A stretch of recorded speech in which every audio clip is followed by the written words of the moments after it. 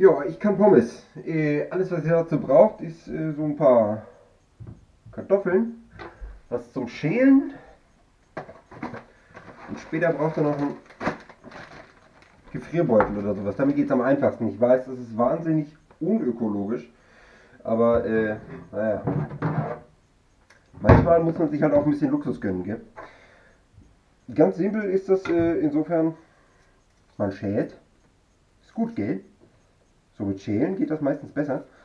Ich meine, wenn sie in den Backofen kommen, dann kann man die Schale auch durchaus äh, vorher ordentlich waschen und dann mitbacken. Das tut jetzt nicht weh. In der Zwischenzeit, während ihr so schält, könntet ihr eigentlich schon mal den Backofen vorheizen.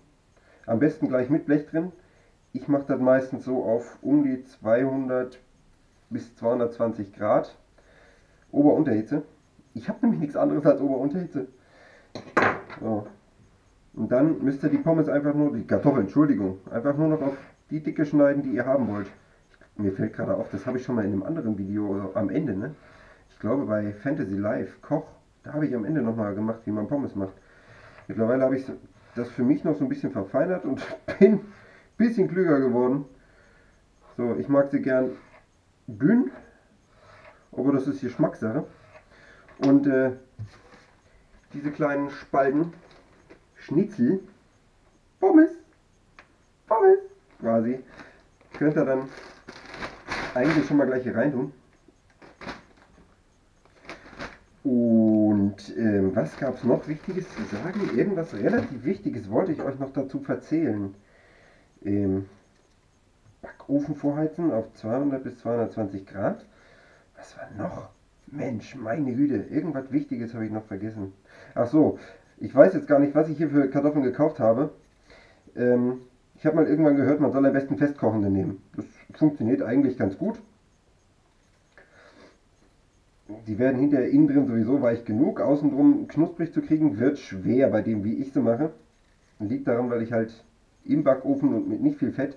Ich habe es noch nicht so richtig hingekriegt, sie ordentlich knusprig zu kriegen, aber schmecken tun sie mir trotzdem. Hatte mehr so ein bisschen was wie etwas außenhärterer Kartoffelbrei oder so. Nein, nicht wirklich.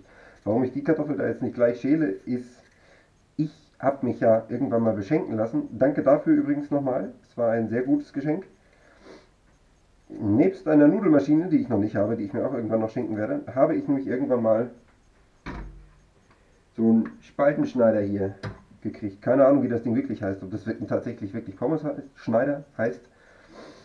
Ähm, der macht halt Schnipsel. In verschiedenen Größen gibt es da mitgelieferte Einsätze.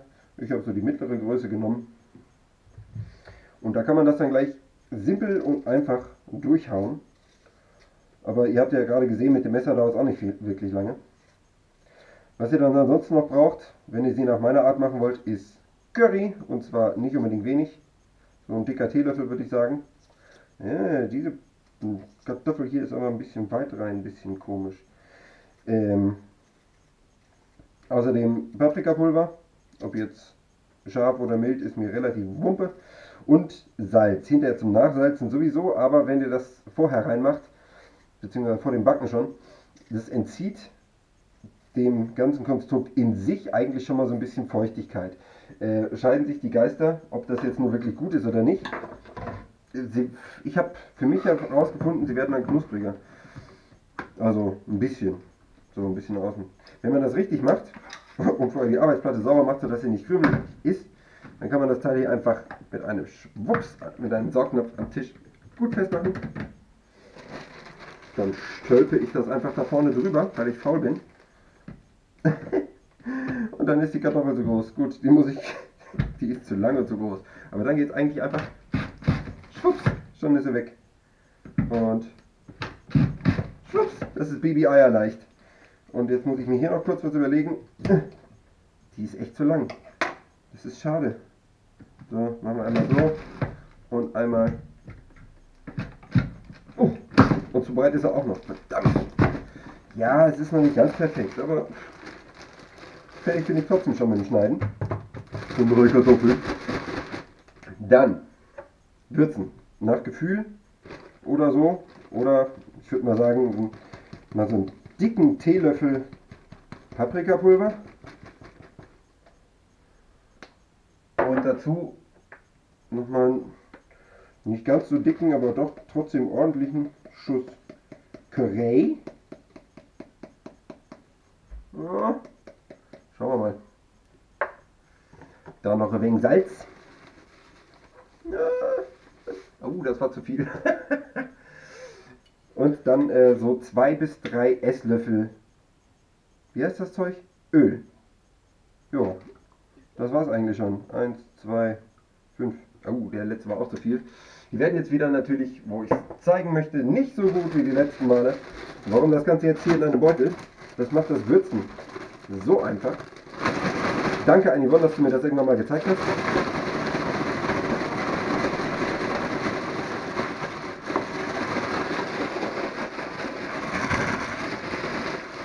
Damit hat man nämlich dann, das ist zu laut wahrscheinlich, damit hat man dann nämlich irgendwann eine halbwegs homogene Durchwürzung irgendwie. Jetzt ist das Größte schon getan. Ich würde jetzt einfach sagen, wenn das Blech, versteht ihr mich, wenn das Blech und der Backofen vorgeheizt sind, dann äh, einfach das Backpapier drauf, die Pommes da draufhauen. Das wurzelt dann schon schön, weil das Blech ja schon heiß ist. Achso, Backpapier drunter habe ich das erwähnt. Und ähm, es ist nicht verkehrt, wenn die zwischendurch so alle 10 bis 15 Minuten dann nochmal ganz kurz wendet, aber natürlich nicht zu lang, damit der Ofen nicht zu kalt wird zwischendurch. Und dann äh, macht es nach Gefühl, würde ich sagen. Bei 200 bis 220 Grad sollten die so in etwa 35 bis 45 Minuten fertig sein. Ist natürlich relativ lang, ist aber schnell gemacht, wie ihr seht. Das Video ist jetzt, lass mich schielen, 7 Minuten lang. Ne? Und ähm, die schmecken. Ist nicht, sind nicht die gleichen Pommes wie von Meckes, aber sie schmecken. Das fertige Konstruktprodukt, wollte ich sagen, seht ihr dann noch in Kürze.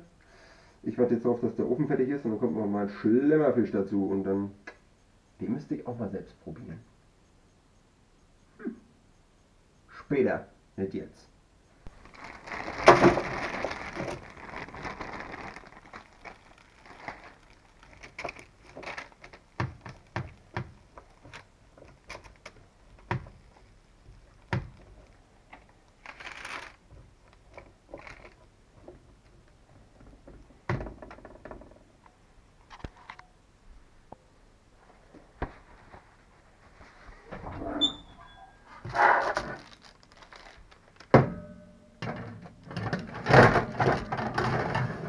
Bis später.